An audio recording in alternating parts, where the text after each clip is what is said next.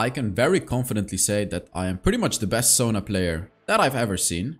And you can look up here. I have a 69.3% win rate overall on Sona. And that was when I, you know, when I started to learn Sona as well.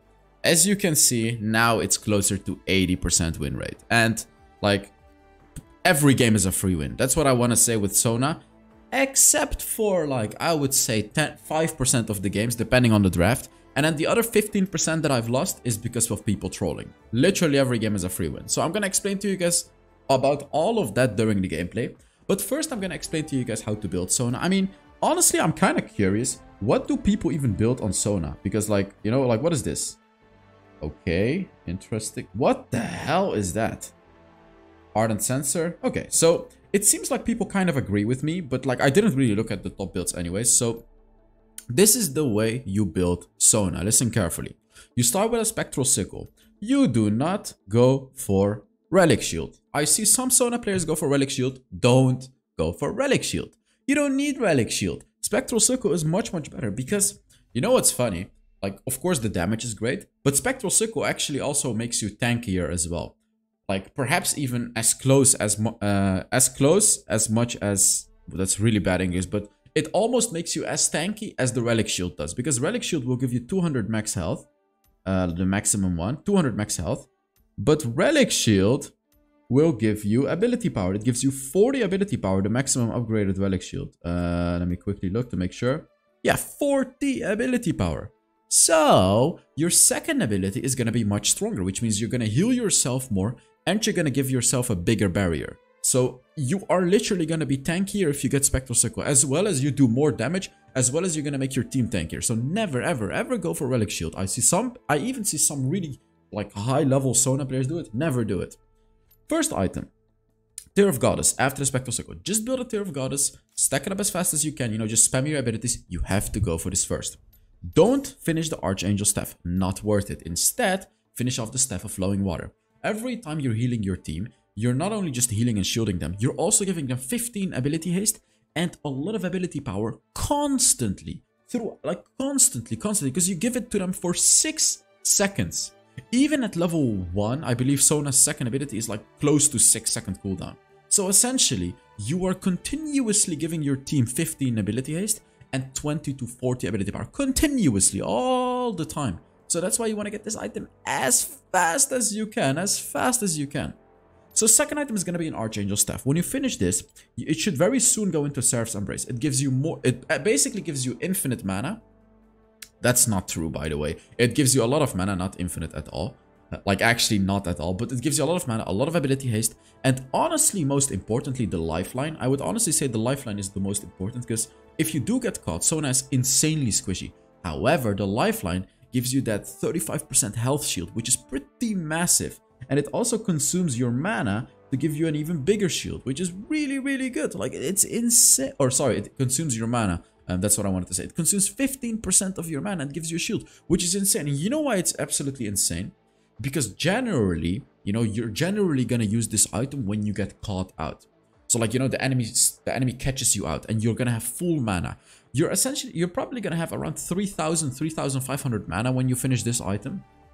So 15% of 3000 is a shield of like 450. You're gonna get a shield of 450 health plus 100, so 550 health, which is an insanely good shield, of course. It allows you to tank up a lot. So third item, here it becomes completely situational. Let me explain. This is actually still quite important. If the enemies have champions that are very fast and like you can really kite them with movement speed, you go for the Cosmic Drive. This one is the best, by the way, generally, because it also gives you 30 ability haste. Does the enemy have a lot of burst damage or does your team have a lot of burst damage?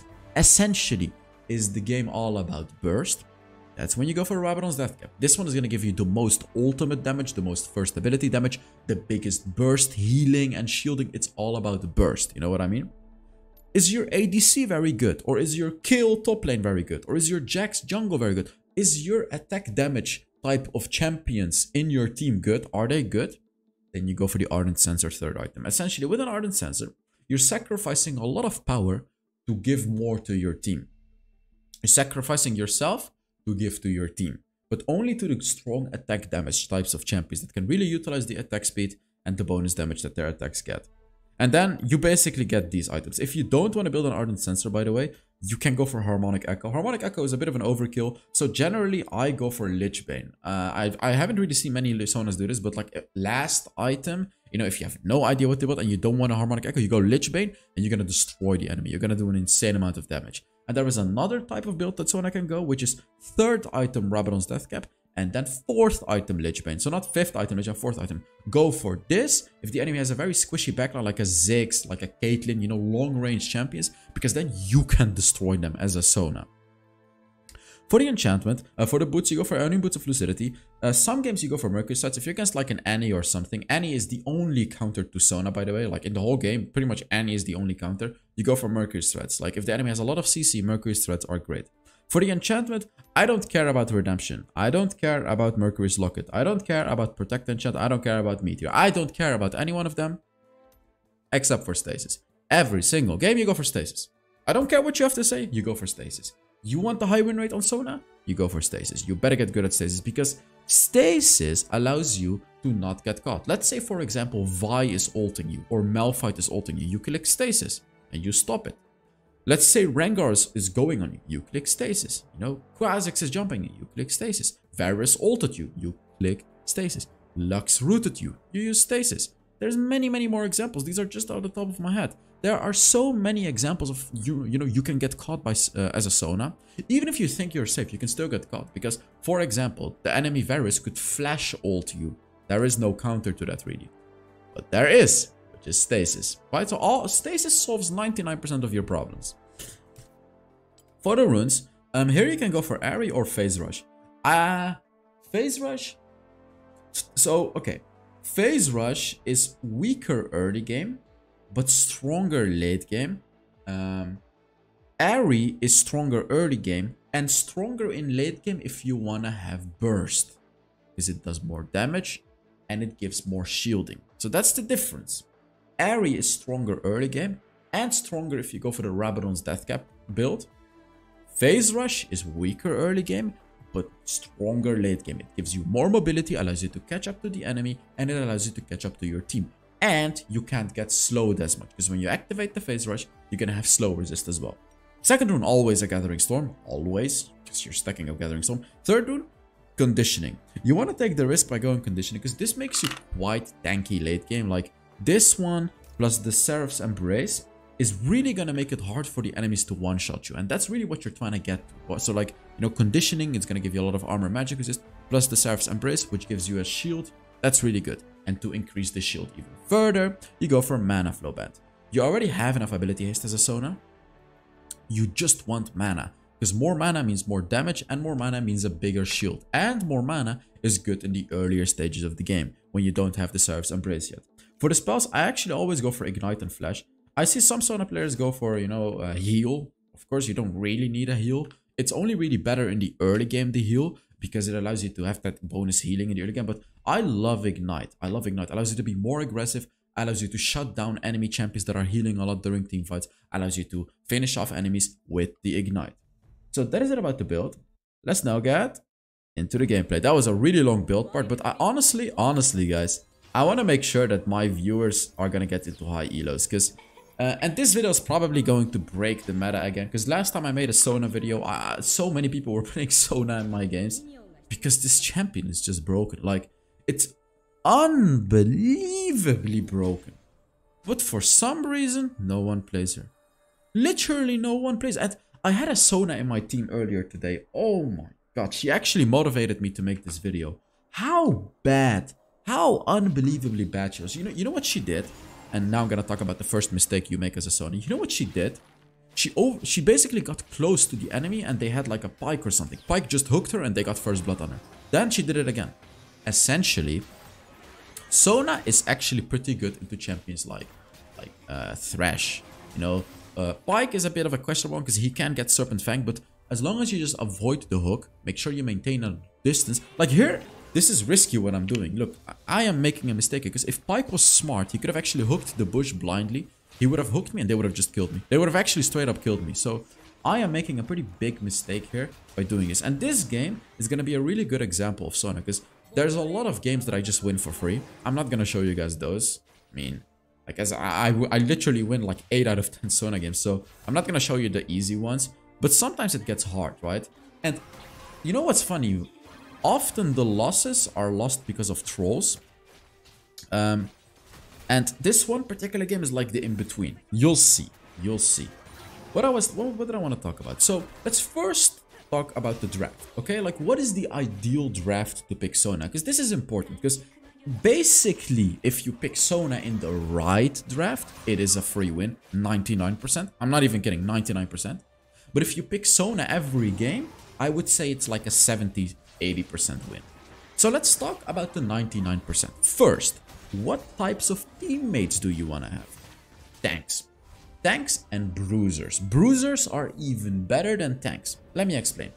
Champions like Darius, Riven, Fiora, Garen, Wukong, you know, these champions are so good with Sona Sion, you know, Urgot, these champions that do decent damage and are decently tanky because you are gonna make them unkillable and they're not gonna be, you know, potatoes. Because, for example, if you pick it with only tanks, you know, like only Rammus, only Garen, only only Alistar and stuff like that, it, it is still strong, don't get me wrong, but like the, there is counterplay to that. You know, like an enemy Vayne or something, there is counterplay. But if you pick Bruisers, it doesn't matter that the enemy has a Vayne. And now let me explain to you guys why it doesn't matter. Because Sona has the exhaust passive. This is something not many people talk about too much. Because a lot of people think Sona is just the brain that support champion. That all she does is healing, no barriering. Oh, I got caught. I need to flash out. Yep. This is the problem with Sona, but we'll talk about it later. But what I was talking about is you can exhaust the enemy. Essentially... Oh, what the hell? Nice. Essentially, when you use your second ability lastly, and the bar becomes green, um, and you basic attack enemy. So now, now I basic attack the enemy Miss Fortune. I I uh, I make her do less damage for the next three seconds. This is unbelievably powerful. This is really good against champions like um, Katarina, Diana, Kennen. You know, any type of champion that heavily relies on like quickly doing damage or Vayne. Like let's say Katarina goes in with her ultimate. You can exhaust her. Well, exhaust her with the second ability and it's gonna it's literally gonna reduce her damage by like 20 to 50 percent it's even like 65 percent late game with a baron. I, i'm not even kidding. So like this is a crazy thing that you need to utilize with sona. Almost every time oh i'm trying to catch him here. I have to be careful because spike is ultimate but here we should be able to kill the Miss Fortune. I can heal my ezreal. There we go and now he's dead as well. Perfect. So um you always want to use the exhaust. Actually, 90% of the times you use exhaust passive. You use the damaging passive to like poke the enemy. You know, you can poke the enemy with it. Um, even with poking, it is generally better to use the exhaust passive. You know why? Because let's say the enemy goes in after you poke. The exhaust passive only does a little bit less damage, but you're denying a powerful engage. Because if the enemy goes in, they're gonna do much less damage because you've exhausted them. Now let's talk about the other one, the slowing one. You know, when you use your third ability and then a basic attack, the empowered one, you're gonna slow the enemy. This one you can use to catch out an enemy. Like if you're very ahead, for example, you can use it to catch an enemy. Or if you just want to slow an enemy that is running away, that's when you use that one. But if an enemy goes in, don't use that one. Generally, exhaust is going to be better. Very likely exhaust is going to be better. So that's some very important thing to know about as well. Now let's talk about what you don't want to pick Sona into. Because, um, like we're talking about the 99% draft, right? Uh, so you want to have bruisers with you. This draft, th this draft is okay because Yasuo is not necessarily a bruiser, but he's like a semi-tanky types of damage champion. Garen is amazing. And then Kayle is okay, Ezreal's okay. So this is like an okay-ish draft. Like I would give this game like an 85% chance to win, basically. So now let's talk about the enemy team. Ooh, I got caught. I got absolute... That Kayle ultimate! Oh, that Kayle ult was so good. So good. But yes, what don't you want to play against?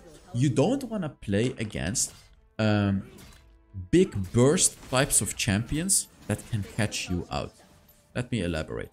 Annie is the biggest example, right? She Protobelt, ults you and you're dead. Another champion that really counters Sona is Jhin.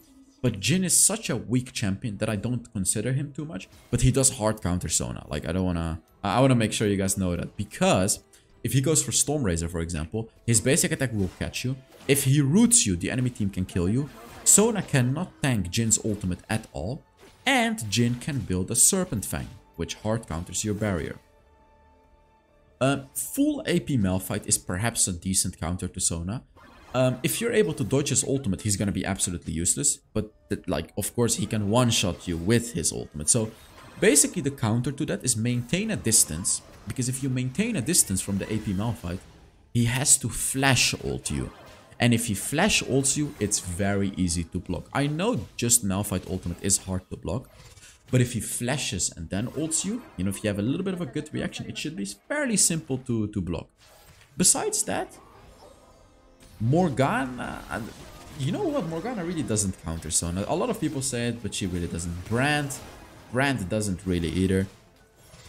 Because even if they go anti-healing, sure, you know, let's say sure, they go anti-healing. You still... 80% of the value you provide is the barrier. I'm not sure if you guys realize that, but 80% of the value is the barrier. So like, Oh, Singed actually kinda counters Sona, because of course he has anti-heal, but he can also catch you out. He can use his second ability on top of you, flash Protobelt towards you, and throw you backwards. So Singed is a decent counter to Sona as well, but yet again, it really, it's not a game change, it's not a game breaker. Only Annie is. I'm gonna be honest with you guys. Only if the enemy picks a good Annie, I would then consider your win rate to be like, probably like around 50% chance. And that's really not good with Sona. Because avoiding an Annie is essentially impossible. Even if you go QSS, she's probably still gonna one-shot you. So just don't pick Sona into Annie. That, that's that's my that's my drafting tip for you guys. Just don't pick into Annie and you should be a-okay. Um, so early game playing Sona, you just want to bully the enemy with your first ability. Don't get too close, don't stay too far. Use your first ability. At level 3, you don't take your third ability, you actually put another point in your second ability.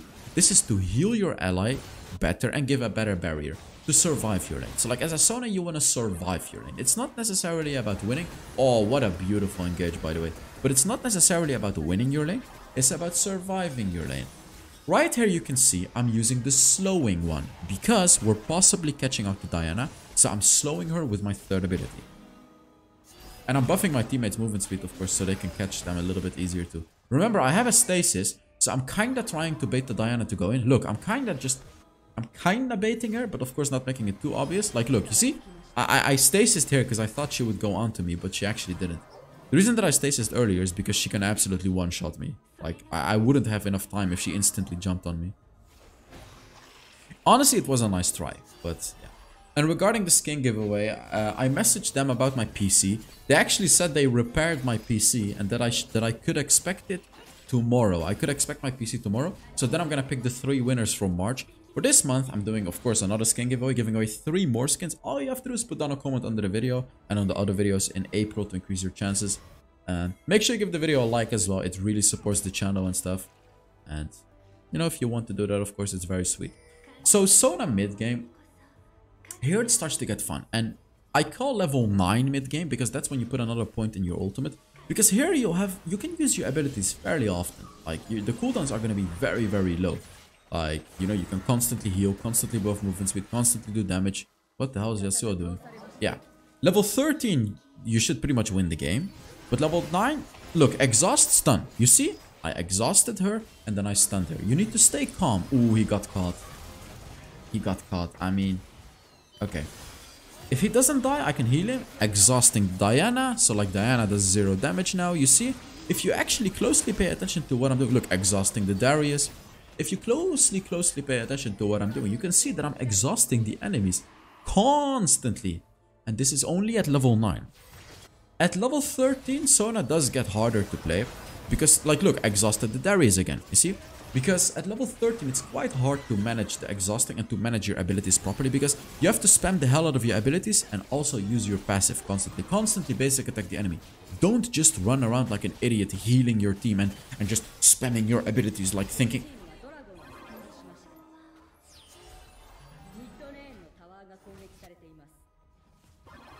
don't go around thinking that that is enough because that is not enough you know it may it may give you like a maybe like a 52 53 percent win rate in sona but what really ramps up the win rate to like 60 plus percent win rate perhaps even 70 percent is knowing how to use your passive and using it on an important target constantly Another small thing. Okay, he's just kind of caught. I did give him the heal, but he's caught. I don't have mana. Another small little important thing you really need to know uh, how to do on Sona um, is flash comboing your ultimate. Because this can allow you to really get some good ultimates. Like, you know, this is going to get you like the 3, 4, even 5 man ultimates that the enemies will never see coming. It is risky, of course, to do this because you're literally flashing into the enemy team. But if, if you have a very good engaging composition, like if you have a Diana or a Katarina in your team, for example, flash ulting is a very powerful tool to, to initiate the team fight. Like, and the enemies will never see it coming. They're never gonna think like Sona is gonna flash ult us, you know, because Sona always wants to be safe. But if you just do the expected, they're gonna get destroyed if you do it properly. Of course, you can only really do this if you have a stasis, because you know you can't. You will. They will likely collapse on you when you flash ult, because they know you don't have a flash anymore.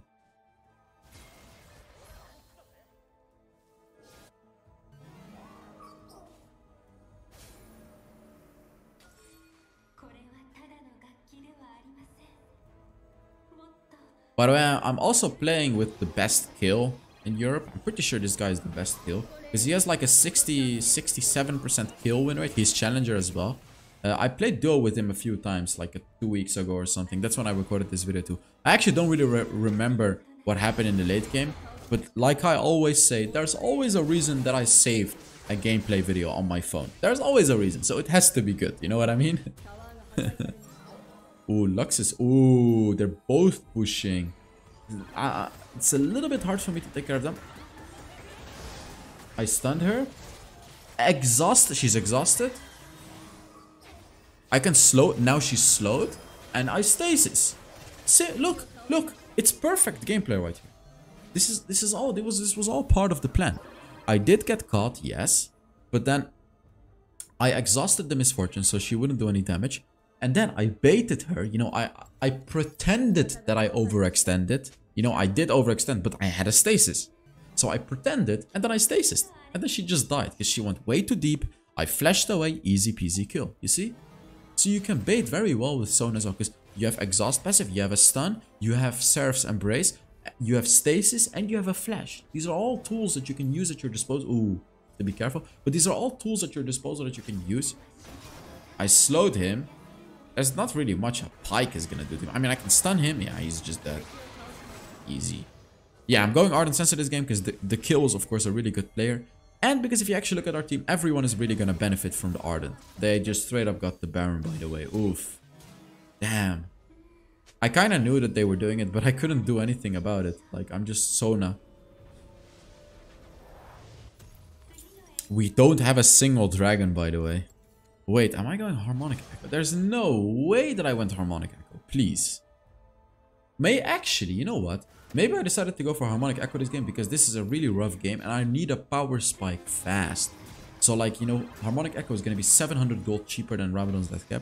So I could get the power spike a little bit earlier, which could be, you know, the game changer. So like, I, I was potentially building into a Harmonic Echo. I don't think I actually got it though. I don't remember.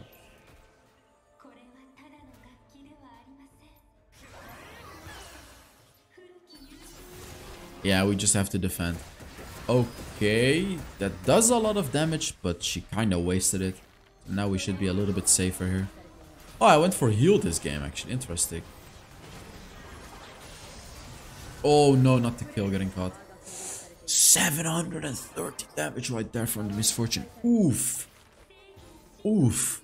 Ooh, that one hurted. That one hurt. Not hurted. Hurt. It's English. What the hell? Exhaust passive. Oh, oh, oh, I have stasis. Good stasis right here. He got baited again, you see? And, oh, my laptop went off. Oops. Oh, they got every single turret. No, the bot lane turret is still alive. Oh, we need the bot lane turret. Don't give them the bot lane turret, please. If we give them the bot lane turret, it is 100% game over. I mean, the game is really not looking too nice now as well. Ah, oh, they're gonna get the third dragon. We're gonna be too late because Diana already started it. Oh no. I mean, actually, it really doesn't matter. Not like it's not like the third dragon is gonna be a difference because I mean, look at our team comp. Look at our team comp. If we make it to the late game, I even think like even if we lose every single turret, if we make it to the late game, we win this game guaranteed. But the problem is I'm level 13. I'm not 15 yet. And Kayle is also, I think, level 30. Yeah, Kayle is also level 13, which is not 15 yet. The good thing, however, is that the Baron is not up yet. You know, there's like two more minutes for us to farm up and until the next Baron. Kayle, so Kayle could reach level 15 in those two minutes. You know, I could get like a whole, like another item possibly. So I'm just kind of trying to farm as, you know, as much as we can right here. Yeah, as you can see, Kayle as well, he's really trying to reach that level 15 power spike. We should we shouldn't really fight right now. Just farm. Just just shove out the waves, get as much golden experience as we can, and try to reach as high levels as possible before the next forced fight. Because the next Baron is definitely going to be a forced fight. And we shouldn't give the inhib to Diana. There's no way we should give an inhib to third. So hopefully my team can defend it. Yeah. Oh, Ezreal. No, we got caught. Oh, the Baron is spawning. No. Alright, let's see. Oh no. Uh oh, oh, oh, oh. No, don't end. No. Okay, nice. We're still safe. Flash ult, but she actually flashed away. Oh, that's a nice Yasuo. Oh, that's a nice Yasuo combo though. Now we should be okay again. Okay, I I I exhausted the. There you go. There you go. I exhausted the Diana and she literally did zero damage to the Kayle. This is a full AP Diana and her ult did zero damage. I stasis, however, just to make sure.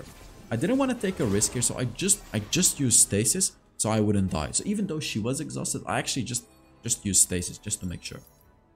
So well, which item am I even going for? Cosmic Drive or what? Ooh, Kayle's level 15, but still, we have lost two inhibs. There's a Darius here. They... Oh, they took the Baron again. Oh, God. Okay, we actually have to fight. We Yeah, we have to fight. Like, we have to fight. Because we're we're not going to be able to defend an 18-minute Baron right now. There's no way we can defend this Baron. So we just straight up have to fight. We 100% have to fight. So let's see what we actually do. Even if we win that fight, I'm not sure if we can even end the game, but like, we, we really have to fight right now. Don't die. No. Come on. Nice. No, he died. At least we killed her. Oh, this is so risky. Oh, nice. We're all full HP, by the way, because I'm playing Sona. But we shouldn't fight. We need to kill this Darius. Oh, he took the turret. He took that turret as well. That is so tragic. They have three turrets now. Oh, they have, they're gonna have so much pressure. So, so, so much pressure right now. Oh, come on, Kayle. I can give everyone so much movement speed by the way. I mean, look at this. We can easily catch them because of the movement speed that I give. The third ability is so underrated as well. Like in the later stages of the game, it gives you like a 25 to 30% movement speed boost to your entire team for 5 seconds upon casting it. So a common misconception is that you need to maintain your third ability to maintain movement speed. This is not true. It is true that if you maintain your third ability, that allies stepping into it will get movement speed. However, when you activate the third ability, every single ally within the range is gonna get the bonus movement speed for 5 seconds. So if, if your allies are close to you, you can just use the third ability and then instantly use another ability and your allies are to be enjoying the movement speed for 5 seconds. So just, just a, a little bit of a tip. Because these are all things you need to know with Sona. So like during a fight, you want to very quickly use your third ability and then instantly something else. Just use your third ability just for the sake of, you know, giving your teammate the movement speed. So like right here, I should use my third ability. Let's see if I actually do it because I'm saying it now. I, I didn't use it. I actually didn't play this one very well, but my Kayle did steal the Elder. So like I didn't actually play this one fight very well. Actually, maybe I did it to manage my mana. Ah, uh, the inhib, the inhib, the inhib, the inhib, the inhib, guys, the inhib. No, no, the inhib. They're gonna get the, mid the stupid inhib. Oh, that one is never gonna respond. Oh, this game, this game got so hard on my nerves. It was a crazy, stupid game. Oh, we lost the top lane inhib forever now. We do have the mid lane one though, but the bot lane one is spawning sometime soon, but it's gonna take a while. Why am I pushing? Oh, I have the Elder Dragon, so I can push it very fast. Ooh, that's a Rabadon's Death Cap, by the way, guys. Like, I'm level 15 with a Rabadon, with four items, including a Rabadon's Death Cap. Honestly, even though they have like two inhibs, I would say this should be a free win now. Let's actually look at what happens, but like, honestly, even though we're losing this game and we still haven't really won a fight, this should be an, the easiest fight of our lives. So I'm curious to see how the next fight goes, because I don't actually remember if we won or lost this game. Let's see. I mean, surely, surely I'm just gonna destroy them. Surely. Like, me and Kayle could probably 2v5. Nah, okay, let, us just see what happens. I'm talking a lot, but let's actually just see what happens. That, that's the movement speed, by the way. Look at how fast we both are. It's, it's so funny. I mean, Miss Fortune is just null damage. Zero. Ooh, be careful of getting caught. Yeah, I'm just I'm just procking the bone plating right there. if I got caught, I would have had the stasis right there. But I would have been alive. I wouldn't have died, so. Elder just ran out, by the way. Kinda sucks. We should have forced Oh! He tried to catch me. He tried to catch me, but he didn't get me. Even as a Serpent Fang, but it doesn't matter because I'm level 15 Sona. A blue buff would be very good. I mean, she's like, look at how much damage. Look at how much damage we're doing. Miss Fortune is doing zero damage. Her ult does nothing towards us.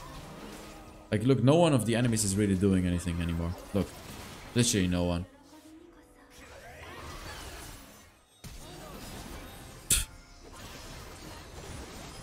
Stasis. There you go. I would have died without the stasis, you see? And we're back to full HP. I think I kind of wanted to go back for the Darius, but then I realized that I can just stay and we can just end the game. I mean, look at that, guys. If that doesn't show you how broken Sona is, then nothing does. I showed you my win rates. Now you just have to believe it and play her yourself. And you'll realize it as well. How unbelievably broken this champion is. The most broken champion in the game. Easily. Like, easily. Just take a look at how much damage we did. I did 18,000 damage, uh, but I did an insane amount of healing. Do I show how much healing I did? No, I didn't. Okay. So thank you guys so much for watching. I really, I know you guys enjoyed this one. I come on, like I know you guys enjoyed this one, but yes, I really hope you enjoyed this video. I will see you all in the next Wild Rift video. Bye bye.